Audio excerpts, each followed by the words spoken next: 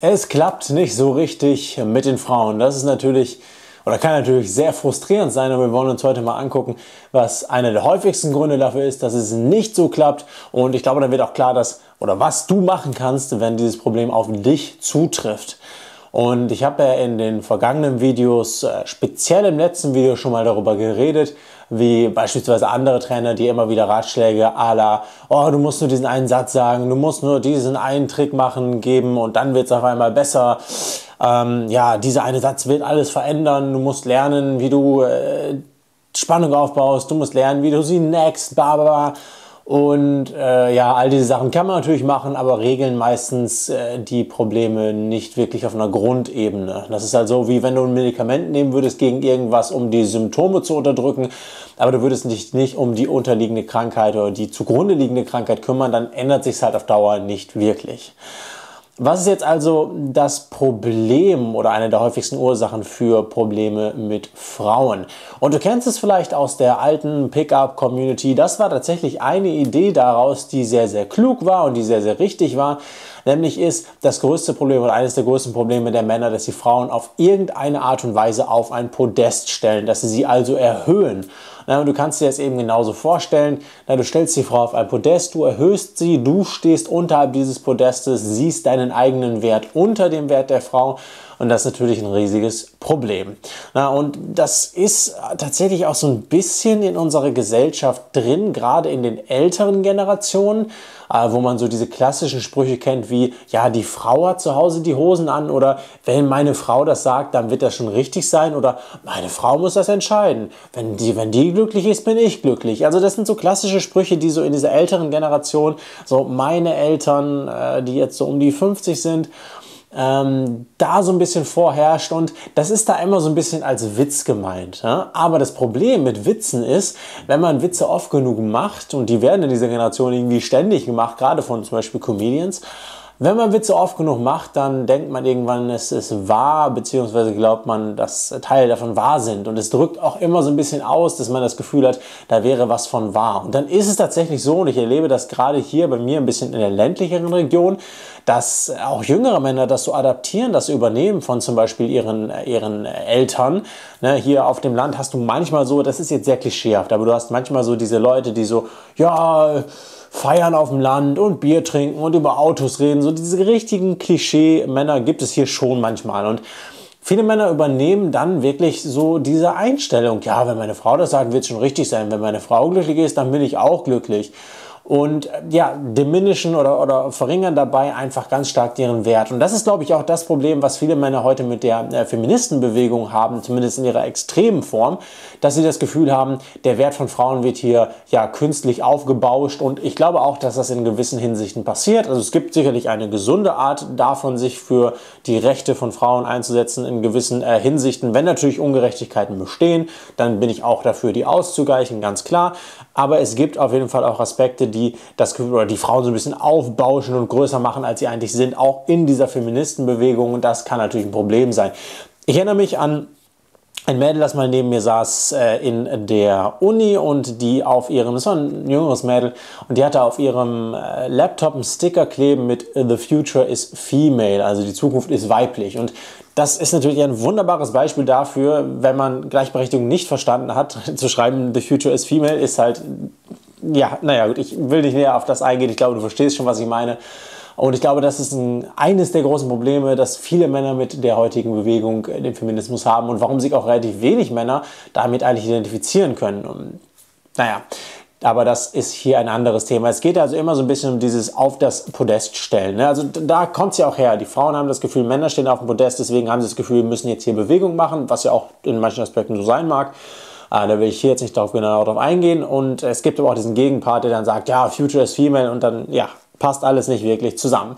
Und das gleiche Problem findet eben bei ganz vielen Männern statt äh, und sie erhöhen die Frauen im Wert. Aber das muss nicht nur so aussehen, dass du sagst, oh ja, die Meinung der Frau ist mir wichtiger als meine eigene oder wenn meine Frau glücklich ist, dann bin ich auch glücklich, sondern die Frau in dem Wert erhöhen. Das kann auch bedeuten, dass du ja unnötig krasse Ansprüche an Frauen hast oder denkst, Frauen würden dich auf irgendeine Art und Weise erfüllen oder glücklich machen. Und das ist das, was viele Männer machen. Viele Männer haben das Gefühl, oh ja, wenn ich jetzt eine coole Frau habe, wenn ich eine hübsche Frau habe, wenn ich viel Sex mit Frauen habe, dann bin ich der King, dann bin ich erfüllt, dann bin ich glücklich. Gerade bei jüngeren Männern, gerade jüngere Männer tendieren dazu, weil sie einfach noch nicht so viel Erfahrung haben, aber auch bei älteren Männern sehe ich das. Ich habe ja viel mit Männern äh, in meiner Zusammenarbeit zu tun. Und das ist wirklich ein ganz, ganz großes Problem. Und du musst erkennen, du musst einfach erkennen, die Frau wird dich am Ende des Tages nicht erfüllen. Die Frau kann dich nicht glücklich machen. Die Frau wird nicht die Erfüllung all deiner Träume sein. Das kann sie einfach nicht. Die Frau ist kein göttliches Wesen, sie ist ein menschliches Wesen, genauso wie du eins bist. Also genauso wenig wie du ja, die Frau und ihr Leben endgültig erfüllen kannst, kann die Frau das für dich tun. Das funktioniert einfach nicht. Und David Data sagt das tatsächlich in seinem Buch Der Weg des wahren Mannes sehr, sehr schön. Und zwar sagt er dort, Du bist glücklich, du bist zufrieden, wenn äh, die Welt dir das gibt, was du haben willst. Wenn dein Hund brav ist, deine Frau mit dir schläft und du auf Arbeit befördert wirst.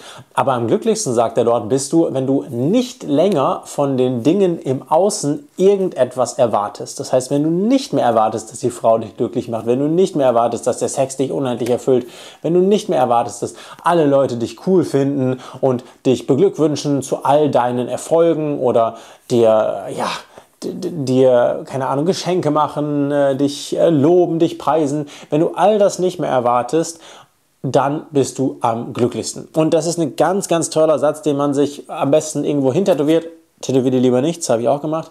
Aber du verstehst die Idee, wenn tätowier wenn man sagt, das tätowieren auf die linke Arschbacke, ne? Und das ist okay, da sieht man das dann nicht so oft. Aber präg dir diesen Satz einfach ein. Das ist wirklich ein ganz, ganz wichtiger Satz. Am glücklichsten bist du, wenn du von den Dingen im Außen nichts mehr erwartest.